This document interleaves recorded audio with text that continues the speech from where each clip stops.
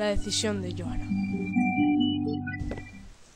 Estaba oscureciendo. Por las calles vacías de su barrio, Joana volvía a casa cansada y nerviosa por todo lo que le había ocurrido esa tarde.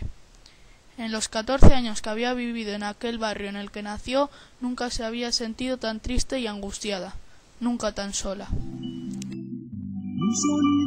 Al entrar en casa se refugió en su habitación porque allí se sentía tranquila y segura.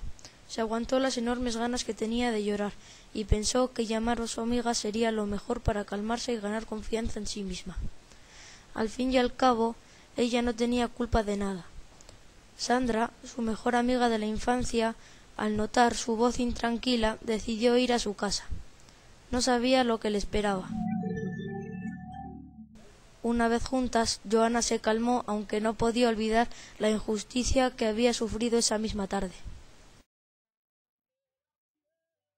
Le contó que sus amigas de clase querían obligarla a entrar al instituto el domingo por la tarde.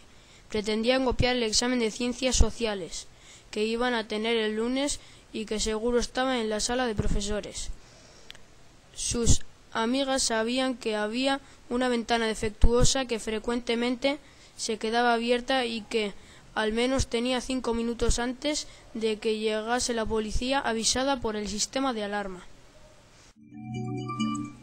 Joana había sido siempre la más ágil y por ello era la candidata perfecta, pero las trampas en el juego nunca le habían gustado y se negó a participar.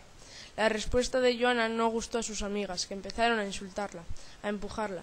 Medio en bromas al principio, pero cuando los golpes fueron a más, decidió echarse a correr, sabiendo que iba a perder a esas viejas amigas.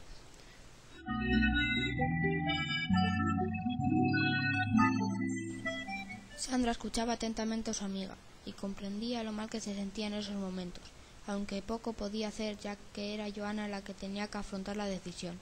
Sin embargo, después de un largo silencio, le dijo que contase con ella, que ella siempre la apoyaría, que siempre estaría a su lado.